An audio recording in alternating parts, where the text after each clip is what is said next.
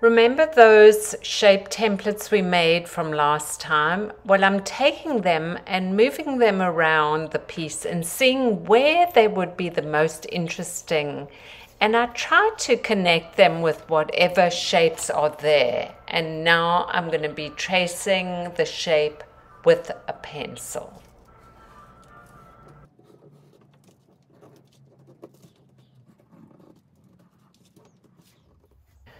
Just a quick hack for if you don't have a palette, just use some plastic garbage bag and wrap it around some cardboard.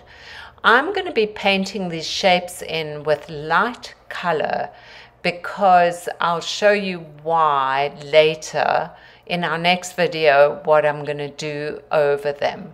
And in this case, I'm painting it pretty solid white and then I'm going to take a baby wipe and wipe some of it back.